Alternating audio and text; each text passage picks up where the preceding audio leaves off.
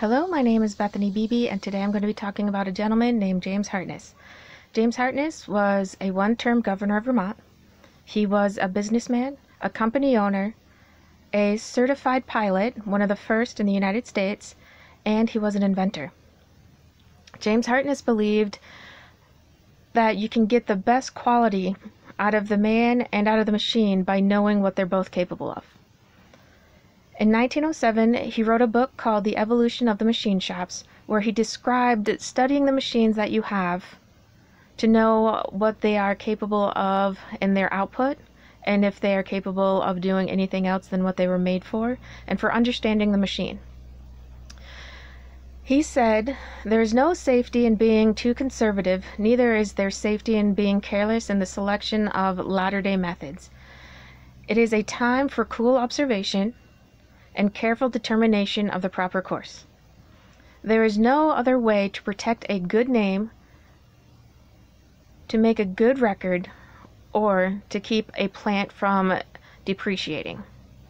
To say nothing about making a dollars and cents profit which is substantial proof of a good method.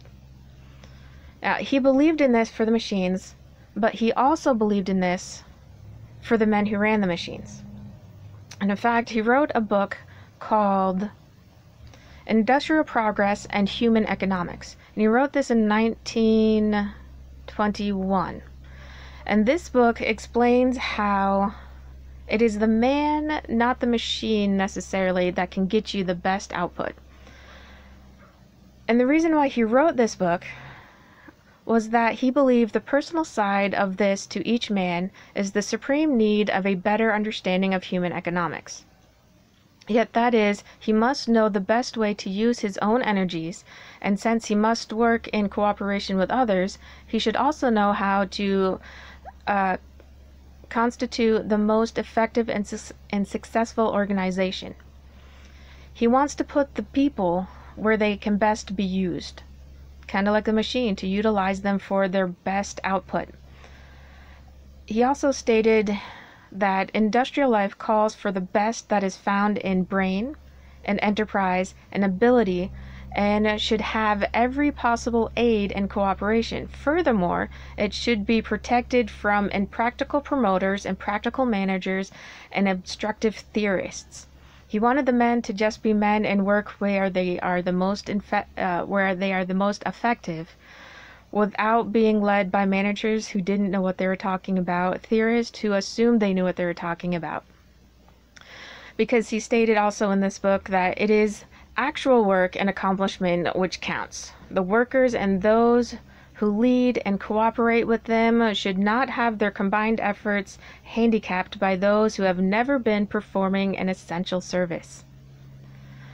He believed that men should be men in the machine shops and should not be um, moved around by those who crunch the numbers. It is by studying the men and their capabilities that leads them to their best output and by putting them where they belong in their best output creates the best bottom line. Oftentimes in meetings, James Hartness would not just bring the financial records, he would also bring the human economic records because he wanted to see how well the people in his shop were working. He, I mean, he felt that if they were happy, he felt that if they were being used the way that they were supposed to be used, he felt that if they were working to the best of their abilities, they would be happy as well. And he wanted to make sure that they were working together happily, that they were, um, if they had any degrees of contentment, if there were any issues, he wanted to hear about them instantly because he wanted to make sure that their working space was a comfortable and productive working space. He didn't want them worried about um, unnecessary information that some of the managers could be pushing on them. He didn't want them to worry about um, how effective they were if they were in the wrong spot because he wanted to place them in the right spot and where they belonged. And by doing this, he could see that if they were doing what they were supposed to be doing to the best of their abilities and if they were failing anywhere, he could move them to where they would be happier and be more productive. And by all of this combined, he could also see if there was um, any room for advancement opportunities for the people there. Because it was for him, it was the people. Making the people happy, making the workers happy, and not having them be bogged down by unnecessary information by people who have never been in those situations. But his economic belief on people and the human economics didn't stop there. When he became governor, uh, he believed that the people and the economic growth was a huge part of Vermont as well. And in fact, in his farewell speech, he said, with this rapid growth and intricacy, there there has been developed certain unfair practices. These correct the correction of which should be given a prime consideration. At that time, Vermont had been growing so quickly and so fastly in the machine shop industry that corruption had moved in and he saw this as governor and as he was stepping down he mentioned this because he knew that those coming behind him would in effect take over his idea that it is the people that is the industry and it's not necessarily the machines and that they need to take care of the corruption that is creeping in and he had faith in this and even so much so that he put it in his farewell speech James Hartness was a fascinating man. He had a lot of money. His business did really well. And it wasn't until the 80s and 90s and even into the 2000s where the machine shops in Vermont had started to slow, not because of the practices that had put in a hundred years ago by James Hartness, but by issues with taxes, issues with corrupt owners, um, and just the fact that some of the machine tools are no longer needed. But James Hartness was a brilliant businessman by putting the people first. He put him first as governor, he put him first as a business owner, and he put him first in his life as well. I hope you enjoyed the presentation on James Hartness. Thank you very much. Hello, my name is Bethany Beebe, and today I'm going to be talking about a gentleman named James Hartness. James Hartness was a one term governor of Vermont. He was a businessman, a company owner, a certified pilot, one of the first in the United States, and he was an inventor. James Hartness believed that you can get the best quality out of the man and out of the machine by knowing what they're both capable of. In 1907, he wrote a book called The Evolution of the Machine Shops, where he described studying the machines that you have to know what they are capable of in their output and if they are capable of doing anything else than what they were made for, and for understanding the machine. He said, There is no safety in being too conservative, neither is there safety in being careless in the selection of latter day methods. It is a time for cool observation and careful determination of the proper course. There is no other way to protect a good name, to make a good record, or to keep a plant from depreciating. To say nothing about making a dollars and cents profit, which is substantial proof of a good method. Now, he believed in this for the machines, but he also believed in this for the men who ran the machines. And in fact, he wrote a book called Industrial Progress and Human Economics. And he wrote this in 1921. And this book explains how it is the man, not the machine necessarily, that can get you the best output. And the reason why he wrote this book was that he believed the personal side of this to each man is the supreme need of a better understanding of human economics. Yet that is, he must know the best way to use his own energies, and since he must work in cooperation with others, he should also know how to uh, constitute the most effective and, su- and successful organization.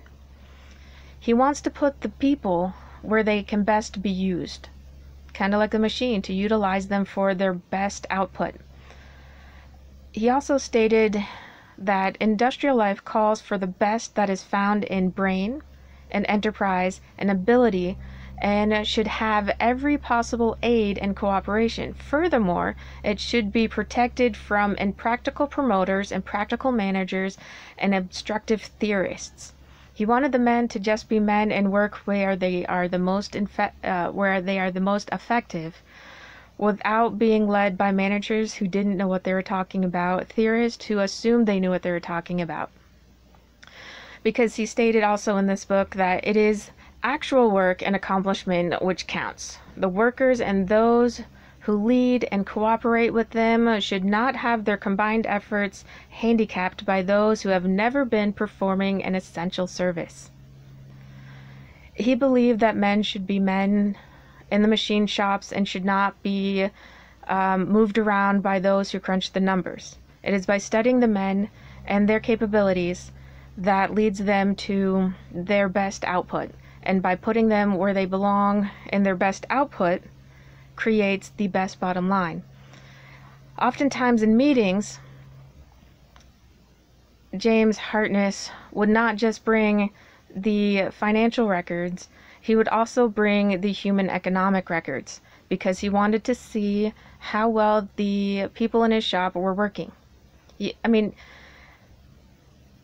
he felt that if they were happy, he felt that if they were being used the way that they were supposed to be used, he felt that if they were working to the best of their abilities, they would be happy as well. And he wanted to make sure that they were working together happily, that they were, um, if they had any degrees of contentment, if there were any issues, he wanted to hear about them instantly because he wanted to make sure that their working space was a comfortable and productive working space. He didn't want them worried about um, unnecessary information that some of the managers could be pushing on them. He didn't want them to worry about um, how effective they were if they were in the wrong spot because he wanted to place them in the right spot and where they belonged. And by doing this, he could see that if they were doing what they were supposed to be doing to the best of their abilities and if they were failing anywhere, he could move them to where they would be happier and be more productive. And by all of this combined, he could also see if there was um, any room for advancement opportunities for the people there. Because it was for him, it was the people. Making the people happy, making the workers happy, and not having them be bogged down by unnecessary information by people who have never been in those situations but his economic belief on people and the human economics didn't stop there. When he became governor, uh, he believed that the people and the economic growth was a huge part of Vermont as well. And in fact, in his farewell speech, he said, "With this rapid growth and intricacy, there there has been developed certain unfair practices. These correct the correction of which should be given a prime consideration. At that time, Vermont had been growing so quickly and so fastly in the machine shop industry that corruption had moved in and he saw this as governor and as he was stepping down he mentioned this because he knew that those coming behind him would in effect take over his idea that it is the people that is the industry and it's not necessarily the machines, and that they need to take care of the corruption that is creeping in. And he had faith in this, and even so much so that he put it in his farewell speech. James Hartness was a fascinating man. He had a lot of money. His business did really well. And it wasn't until the 80s and 90s and even into the 2000s where the machine shops in Vermont had started to slow, not because of the practices that had put in a hundred years ago by James Hartness, but by issues with taxes, issues with corrupt owners, um, and just the fact that some of the machine tools are no longer needed. But James Hartness was a brilliant businessman by putting the people first. He put him first as governor, he put him first as a business owner, and he put him first in his life as well. I hope you enjoyed the presentation on James Hartness. Thank you very much.